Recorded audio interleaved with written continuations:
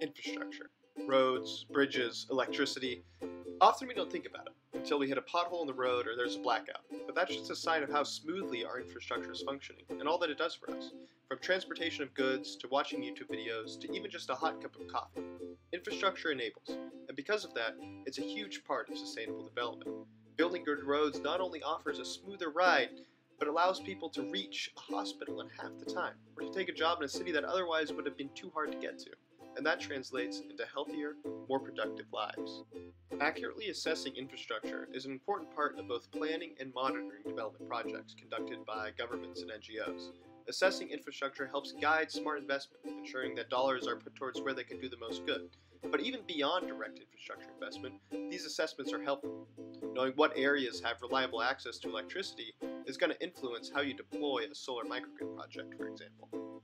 But right now, infrastructure assessment isn't so easy. It's mostly done through surveys, which necessitates sending someone to often remote or barely accessible places. And this means that present infrastructure assessments are expensive, unexhaustive, and hard to scale.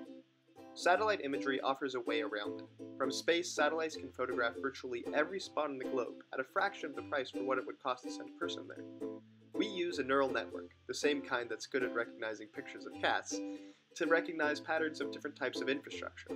Using survey data as ground truth, we trained the network on geo-matched images and asked it to predict, does this area have access to infrastructure? Overall, we found that this is a very promising area. There are improvements to be made, but it already has a lot of potential to complement existing surveys. Satellites and deep learning together, a new tool to enable data-driven sustainable development. Thanks so much for watching.